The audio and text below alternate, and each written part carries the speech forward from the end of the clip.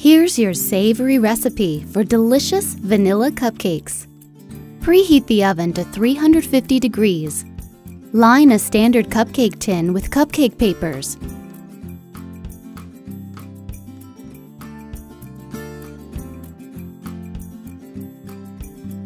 Using a hand mixer, cream the butter, sugar, and vanilla extract until well combined.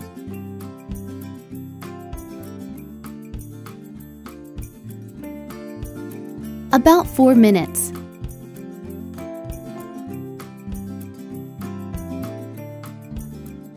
Add the eggs one at a time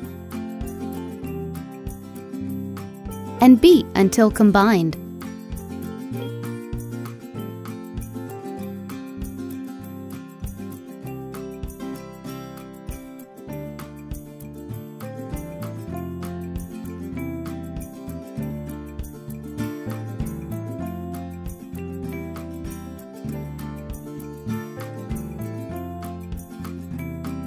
Gently warm the milk. Fold the self-rising flour into the sugar mixture until it's incorporated.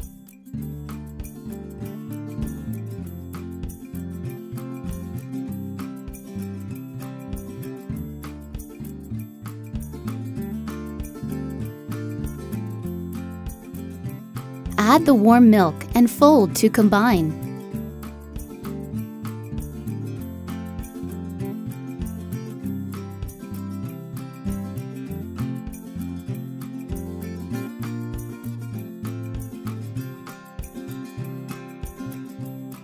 Use two spoons to insert the batter into the cavities of the cupcake tin.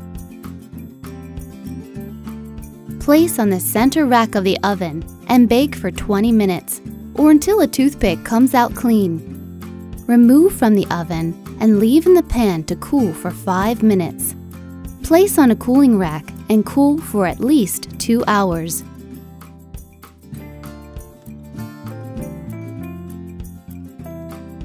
Decorate with whipped cream and sprinkles.